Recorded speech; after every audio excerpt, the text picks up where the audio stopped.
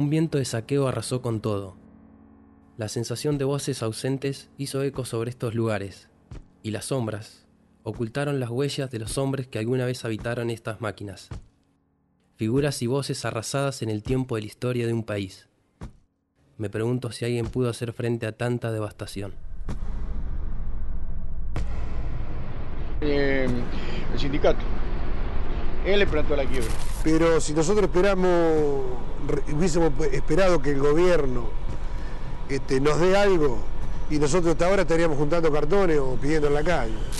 Le ofrecieron una fábrica y no la quiso porque no, es chatarra. Él había un cálculo aproximado que se precisaba un millón de pesos para hacerla andar. Estuvimos dos años, casi tres años, que te daban 35, cobrábamos por quincena, te daban 35 pesos, 25 eh, pesos cada 40 días. ¿eh? Y eso la bancamos un montón nosotros. Y la fábrica se trabajó bien, trabajaba bien. No sé qué es lo que pasó acá, no sé.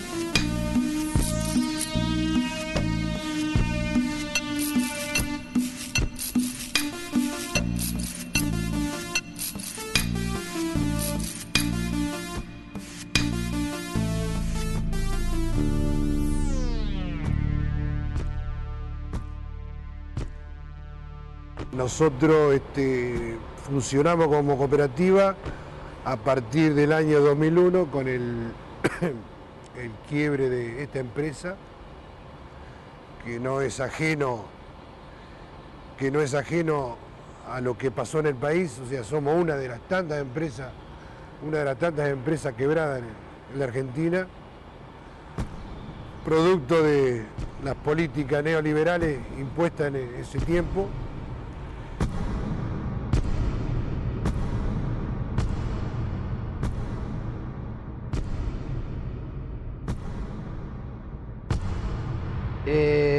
Desalojar y no. Nosotros los quedamos adentro. No dejamos ahí los vehículos, que están por ahí los vehículos. Y. Y bueno, nos quedamos adentro. no de guapos, sino eh, en forma pasiva. En ningún momento hicimos ninguna clase de, de ni problemas, ni nada, nada. Todo fue pasivo. Yo me quedé más por la edad. ¿Me entendés? Con 53, 54 años que tengo, ¿quién me toma? A ver, decime, ¿quién me toma ahora? No me toma nadie. Y yo tengo un chico de 21 años, y pobre, estudió, tiene este, tiene título, tiene todo. ¿Y saben qué está trabajando? Está eh, en un carrito eso que pues, acarrea con la moto, hace unos viajes con un peligro que te puede agarrar un auto. Eh, ¿Cómo se llama? En su carrito moto mandado eso.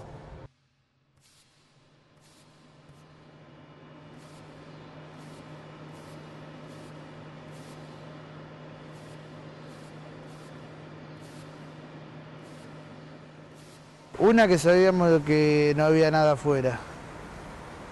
Y bueno, y, era o esto o hacerte piquetero, no te quedaba otra porque en ese momento, en el 2001, no, había trabajo en ningún lado.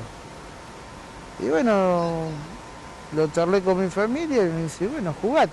Si, total, yo, mmm, decir, lo que estábamos acá, nosotros salíamos hacia alguna changa o ibas a buscar trabajo a otro lado, un día, al otro día venía de vuelta acá. No era que estábamos todos, todos los días, día por medio no veníamos. Pero vos hacías alguna changa o ibas a buscar trabajo a otro lado.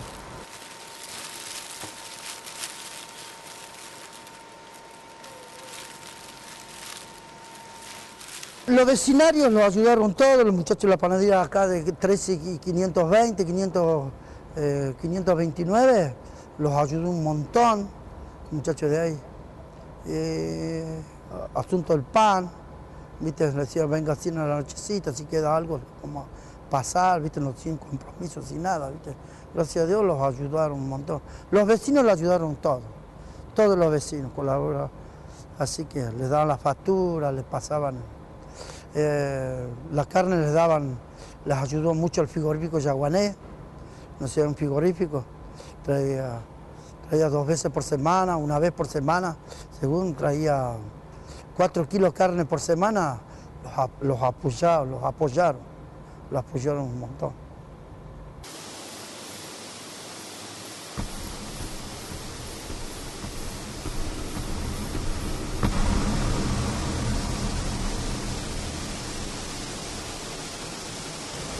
Cuando uno tiene una empresa recuperada te la dejan, te la dejan sin nada, sin medio. y vos que sos un obrero que hace un año que no te pagan, tampoco podés conseguir esa plata. Por eso yo te digo, ahí, ahí sí te- tendría que estar la, la- la mano del gobierno. Y cuando se iba a comprar, a nombre, si se iba a comprar a nombre de la papelera, la gente pensaba que era papelera San Jorge, no te lo vendían directamente. y había que ir siempre con el dinero en bolsillo. ¿eh? Y eso cuesta.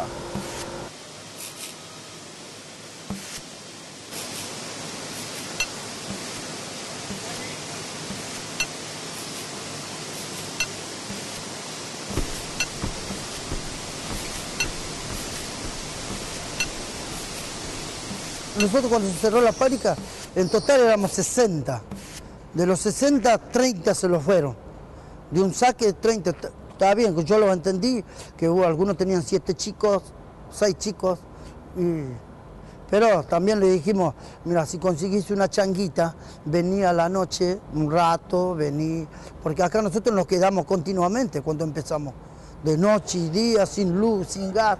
Nosotros un día estuvimos, ni- no, teníamos ni eh, 230 pesos para pagar la luz acá, que ¿no? Eh, es jodido, ¿viste? Eh, vendíamos los fierros viejos, la chatarra, bueno, con eso repartíamos también y comprábamos un poco de carne, bueno, cada uno lleva un poco de carne a la casa, o hierba, o sea, las cosas fierro que no servían, mientras íbamos limpiando lo vendíamos, así que vivíamos prácticamente la chatarra.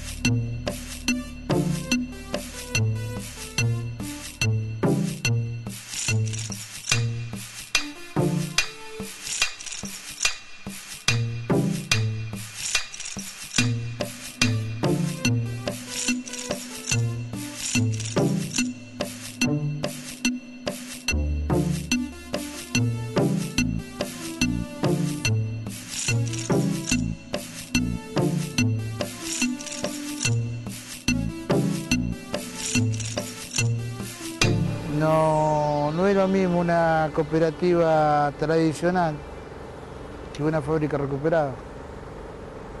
Es totalmente distinto. Factores que en una cooperativa que podés ser organizada, vos te vos elegís tu socio. Elegís tu núcleo para hacer una cooperativa. Y acá, es, eh, en el momento de que hubo la quiebra, quedamos 27 y bueno, de los 27 capaz que 3 y 3 se llevan bien para un lado y otros 3 para otro y así. No es un núcleo que se armó para formar una cooperativa. Nosotros no teníamos, no teníamos idea de lo que era una cooperativa. Empezamos a, a gestionar, a hablar, si se podía, porque ya teníamos una experiencia primeramente de unos meses atrás de una cooperativa Yaguané o Gil Metal de la Avellaneda que esas se expropiaron y salió la expropiación para poder seguir trabajando.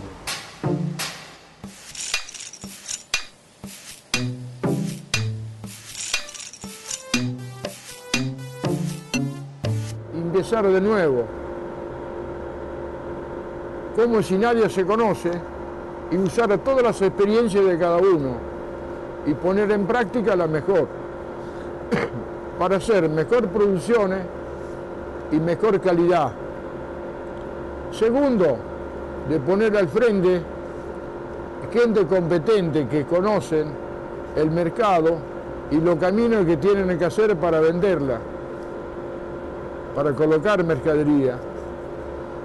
Y tercero, ponerse a la cabeza que hay que hacer un sacrificio muy grande de cambiar mentalidad, educación laboral, que están trabajando para ellos mismos. Hay que ponerse, que vos tenés que decir, bueno, tengo que trenzar ese cable y tenés que trenzarlo. ¿Cómo? No sé, pero tenés que trenzarlo. ¿Me entiendes? Tenés que trenzarlo. El cable ese, hoy me tiene que salir y tenés que hacerlo. Y hacerlo y hacerlo. Si no te sale hoy, mañana te tiene que salir, pero tenés que ponerte que la tenés que hacerlo. Eh, la mayoría, este, por lo menos los que empezaron con la cooperativa, la mayoría de ellos sabían qué era, qué era fabricar papel. ¿Entiendes? Si no se pudo fabricar mucha calidad de papel por falta de materia prima o quizá por falta de conocimiento, está bien, pero la mayoría de los papeles que se podían hacer se hicieron y se hicieron bien.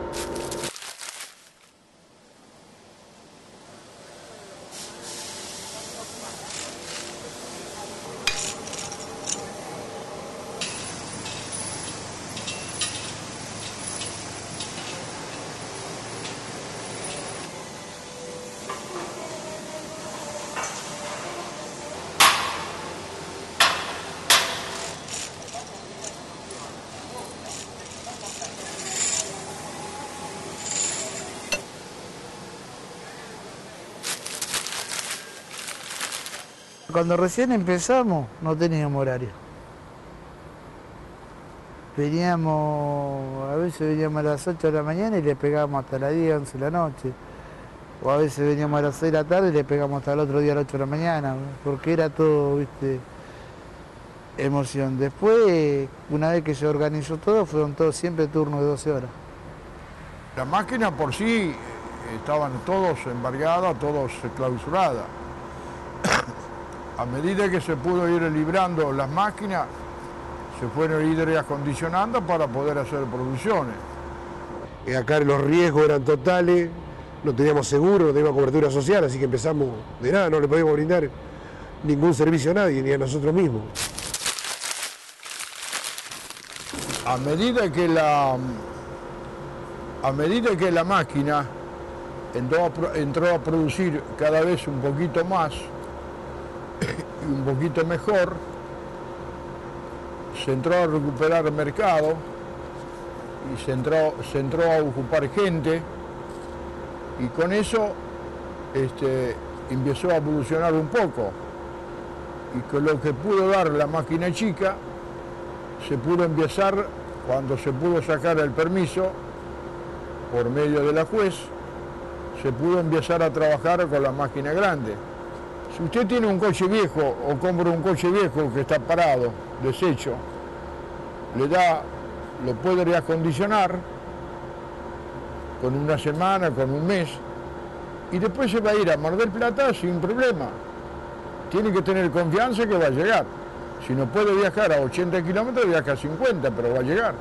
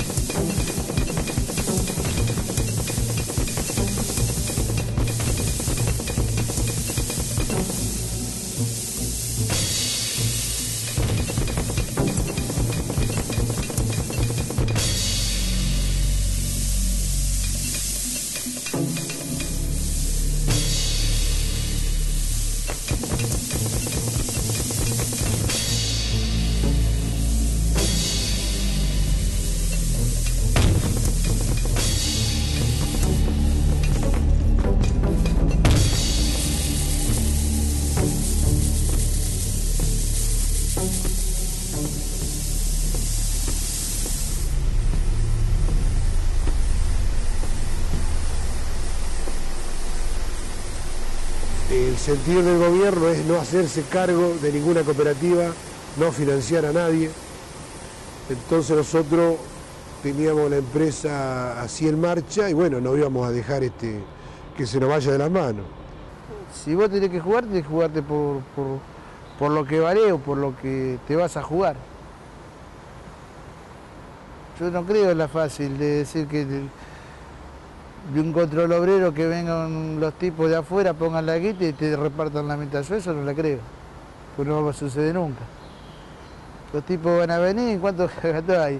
Mil, bueno, 200 para repartir eh, con 10, con 15 negros y todo lo demás para mí. Es así. El capital nunca te va, te va a ganar. Vos estás haciendo una casa, te está faltando la ventana, te está faltando la puerta, te está faltando los pisos. Y vos para más o menos terminar eso o ir avanzando, precisás un año, dos años. Y, y de buena primera viene un vecino, te viene a ofertar plata para comprar la puerta, la ventana, la, los pisos, los muebles. Y vos la aceptás enseguida, sin sacar cuenta. Porque ese tipo en tres años te se quedó con la casa.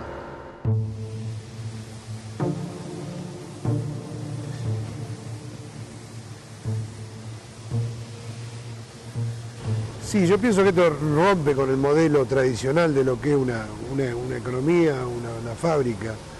Entonces nosotros si tenemos una fábrica al lado de sociedad anónima, una fábrica privada, el que está al lado, la que están alrededor, y van a aplaudir para que nos, ca- nos caigamos, porque no, no, no, conviene este, así como, como política que fue toda la vida, de decir, bueno, los trabajadores no se pueden au- autogestionar a sí mismos. Yo preferiría, preferiría que sea mixto, ¿no? Que se tome la empresa privada, que tome ejemplo de las cooperativas y las cooperativas ejemplo de la empresa privada. O sea, pero eh, no ponerle traba a las cooperativas como se ponen traba a las cooperativas por el miedo a que florezcan más las cooperativas. Hay muchas cosas. La cooperativa, repito, la primera cosa es la transparencia. Y segundo, que toda la gente sea sana, que no estén enfermos. Enfermos de, la, de la mentalidad. Es decir, no puedo, no lo sé hacer, yo no lo conozco. No. Sí, lo probamos. No vale que le interese. Vos tenés al capitalismo le gusta que haga cooperativa. No le gusta para nada. Y más que le robe la fábrica. ¿Quién se va a quedar tranquilo? Aunque ellos la abandonaron, pero ¿quién se va a quedar? Eh, Ellos la abandonan, pero no, no se quedan tranquilos que vos lo robes. Que los negritos lo roben la fábrica y la hagan caminar.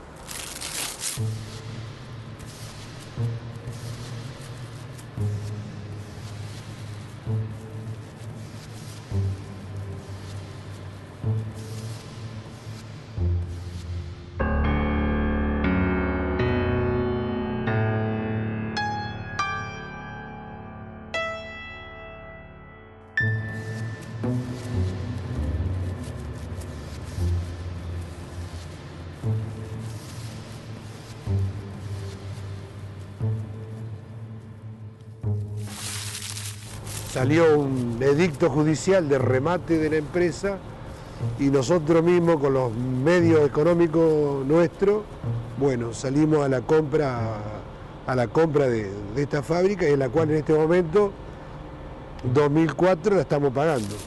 La otra vuelta compramos una camioneta, una, una Sabeiro 2001, y le decía a Pedro y a Vera, le digo, mirá vos, le digo, ¿te acordás del 2001? Le digo, "Me com- comíamos en la olla popular porque hacíamos la comida para todos ahí en el comedor, ¿viste? Le digo, y mirá ahora, le compramos una camioneta 20 lucas como si daba afuera, le digo. Dice, eso te da, a mí me da un satisfacción, orgullo.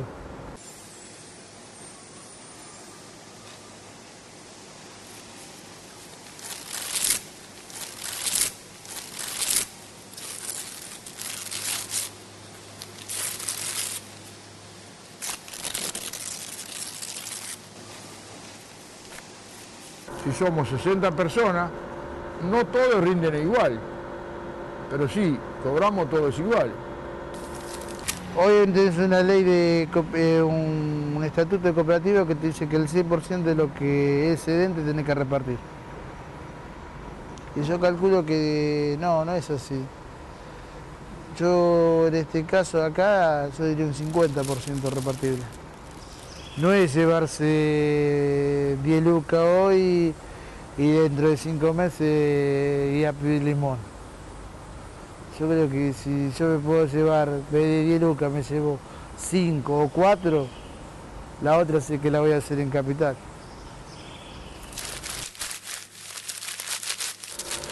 A cada obrero le tiene que hacer entender cuál es el funcionamiento de la cooperativa, cuáles son las obligaciones de cada uno. Si no, no funciona. Hoy por hoy vos si nosotros, vos lo sacás nosotros tres que estamos adelante, le das la fábrica a cualquier de estos chicos, tienen toda la buena voluntad del mundo. Pero no saben por dónde disparar. Y que el día de mañana va a tener que ser así, ellos van a tener que ir adelante. Entonces todo eso creo que tendrían que haber capacitación. Eso sería, sería bueno para, para todos, porque vos el día de mañana, si hay elección en una cooperativa, el que va a agarrar sabe lo que, lo que va a agarrar y cómo lo va a agarrar y qué, qué es lo que tiene que hacer. Eh, por ejemplo, nosotros elegimos, por ejemplo, a mí me eligen eh, para presidente. Bueno, Peralta es un muchacho bueno, vamos a elegirlo. ¿Me entendés? A mí me eligen los compañeros. Bueno, y yo dentro de un año, eh, bueno, veo tanta plata, agarro y les cuento y me mando a mudar. o me hago llevar preso un mes o dos meses. Ese no va. ¿Me? Tiene que ser una persona muy sincero. Esto es igual que una familia. Si vos son cinco en tu casa y uno tira para uno, otro tira para otro y ninguno te pone de acuerdo, al último, que se quedará uno solo, otros se van todos.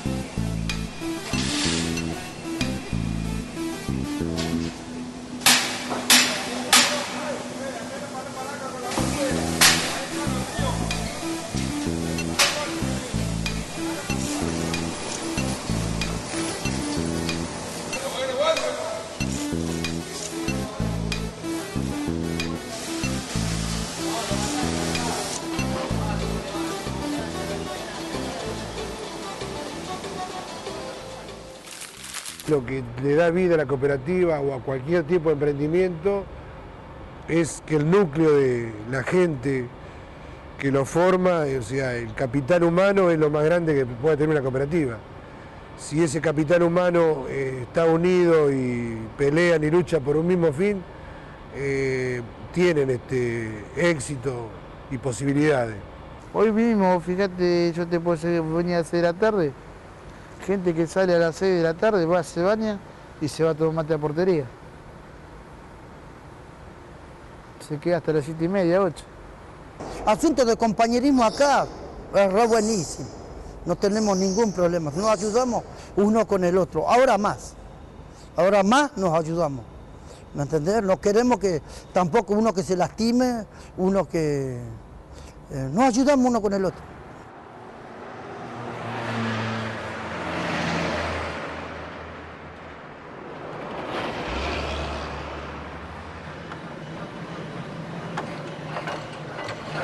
Pensar que hay que luchar, todo por el mismo camino. Igual que una, una cancha de fútbol. En la cancha de fútbol va el rico, el pobre, el rico, el feo, el inteligente, el ignorante, este, el bien vestido, el mal vestido, pero todo eh, de distinta ideología política, pero todo liso por el mismo cuadro.